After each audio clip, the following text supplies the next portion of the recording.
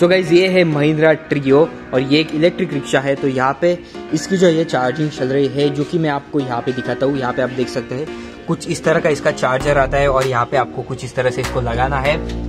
और ये रिक्शा में जो ये कुछ इस तरह से यहाँ पे लगता है बिकॉज़ इसके नीचे जो है यहाँ पे सीट के नीचे जो ये बैटरी लगी हुई है।